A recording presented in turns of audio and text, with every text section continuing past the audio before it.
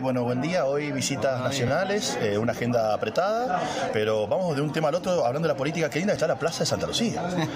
sí, la verdad que sí, ha sido cuestionada en, estos últimos tiempos, pero la verdad que para nosotros es un gran orgullo poder haber realizado esa plaza. Santa Lucía no tenía un lugar como clave turístico y creo que hoy día la plaza ha sido eh, es un antes y un después de lo que estamos viviendo porque la verdad que vienen de todos los departamentos y hasta de otras provincias a conocerla, a disfrutarla. Aparte del icono histórico. Sí, y, lo lindo es que creo que cumplió el objetivo, ¿no? La verdad que nosotros pensamos que esa plaza tenía que ser de, una, de, la, de la gran familia santaluceña y hoy día se ve reflejado sin lugar a dudas cuando venís un sábado, un domingo, vas a ver mamá, papá, abuelo, los niños jugando, una calecita funcionando, algo que no, no hay en otros departamentos y que acá en Santa Lucía se ha dado y se ha dado de la mejor manera y con un, la verdad, un reconocimiento enorme por parte de todos los vecinos. Hacemos un picadillo de un lado al otro, hoy visitas nacionales, eh, bueno, ya un par, hace un par de días atrás en este mismo escenario vimos como una unificación de las diferentes partes eh, de, todas las fuerzas, ¿no? Inclusive la gente de Chihuahua y demás. Eh, ¿qué, resumen me podés hacer de eso? Si estamos ya listos como para el 2023 o solamente ha sido una primera parte.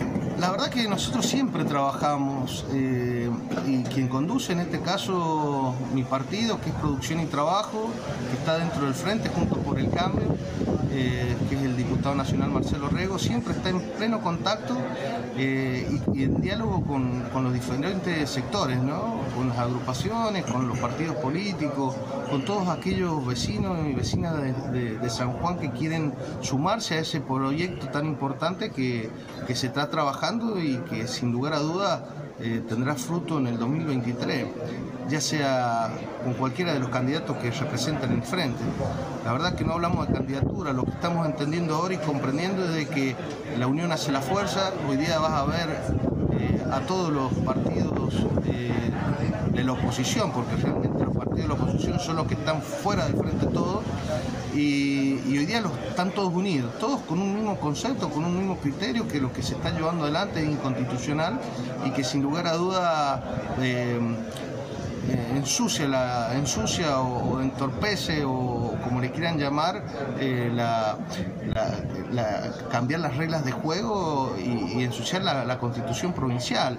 Entonces es ahí a donde nosotros apuntamos, eso es lo que nos ha unido y creo que con esos objetivos y se hubiese llamado a todas las partes antes de sacar esta, esta previa ¿sí? del cambio. Que tendría que haberse hablado de esta para hacer una modificación a, una ley electoral necesita 18 meses con anterioridad. Entonces, si hemos tenido la gran posibilidad y que dicen que el acuerdo de San Juan ha sido, ha sido para casualmente consensuar con todos los sanjuaninos, en este caso no han consensuado con los partidos, ya, que sean partidos que representan en la Cámara, tienen representante en la Cámara, como aquellos que no, pero que en algún momento lo tuvo. Entonces creo que todos son parte de un de un sistema eh, que lógicamente tenemos que pensar que, si en San Juan eh, somos todos, no, es unos pocos, ¿no? ¿Hay un plan B?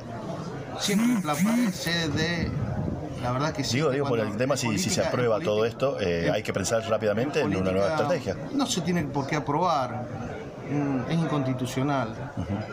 la verdad que estaríamos lejos de la realidad y lejos de la agenda de los de la gente. ¿no? Lo, veo, pensando, cuando, cuando, me dice la respuesta, lo veo pensando en situaciones y en opciones, como que ya está como recalculado todo esto de decir estamos pie firme como para... vamos a trabajar, vamos a estar firmes, en forma concreta, sólida, eh, y proyectando, ¿no? Proyectando, porque si no proyectas en el futuro tampoco podés construir. Entonces creo que en la construcción que se hace día a día, en el trabajo que vienen haciendo los presidentes de los partidos, eh, y en el caso mío, como te decía yo, que pertenezco a Producción y Trabajo, que mi presidente es eh, Marcelo Rego y el vicepresidente Fabián Martín, eh, están trabajando para conciliar un frente firme y eso es muy bueno.